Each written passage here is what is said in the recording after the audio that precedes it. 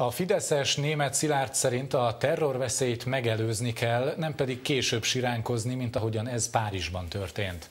Az ellenzék azonban továbbra is elutasítja a tervezett alaptörvénymódosítást. A Fidesz szerint nőtt a terrorfenyegetettség, az ellenzék szerint azonban szó sincs ilyenről. A politikusok zárt ajtók mögött hallgatták meg a TEK főigazgatóját, a belügyi államtitkárt és a titkosszolgálatok vezetőit. Ők ezúttal sem nyilatkoztak, a pártok képviselői viszont igen. A bizottság MSZP és elnöke azt mondta, hogy bár százszázalékos biztonságban sehol sem lehetünk, Magyarország terrorfenyegetettsége nem nőtt, az alaptörvény módosítás pedig indokolatlan.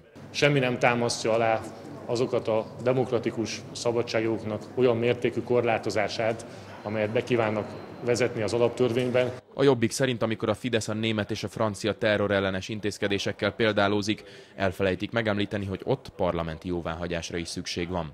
És ami talán a legfontosabb, hogy akár Franciaországot, akár Németországot vesszük alapul, a terrorizmussal kapcsolatos különleges jogrend nem a kormány kezébe ad plusz jogosítványokat, hanem a hatóságok kezébe. Az LNP Szél Bernadett szerint továbbra sem látni, hogy a kormány miért akar ilyen erős jogosítványokat. A politikus szerint ugyanis az ülésen hallottak alapján nem nőtt a terrorveszély. A bizottság Fideszes alelnöke viszont másképpen hallotta.